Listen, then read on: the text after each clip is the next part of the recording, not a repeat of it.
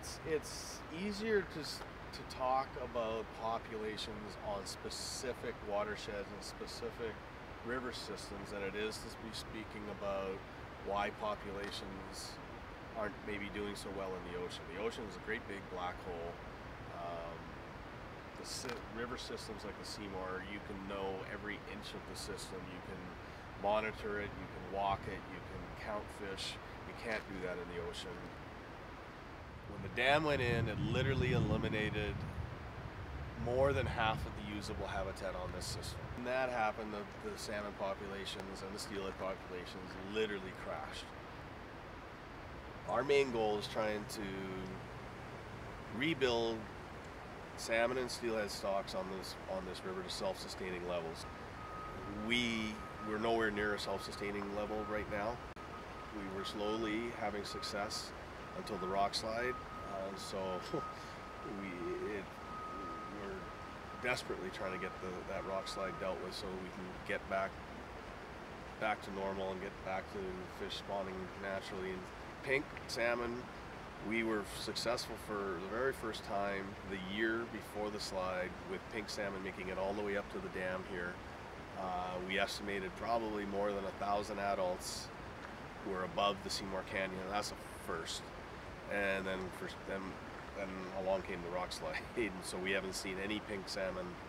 We haven't seen any pink salmon, coho, or steelhead above the rock slide since, and that happened in 2014. So in the 1950s, uh, the Vancouver Water District built the Cleveland Dam um, so that they could supply water to the Vancouver region. Uh, for a couple years after that, they built the fish ladder so that the fish could swim up.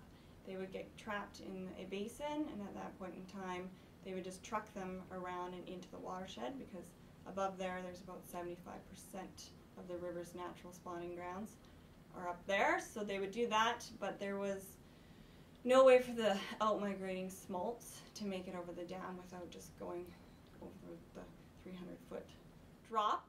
There used to be, on average, about 7,500 coho returning to the Capilano and about 2,000 steelhead. After they built the dam, they dropped down to about 2,000 coho only returning and about 200 steelhead. So they decided that in the 1970s they needed to build the Capilano Salmon Hatchery.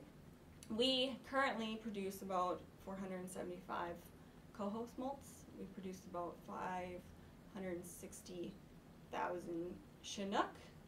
They are not indigenous to this river. They were introduced for fishing purposes.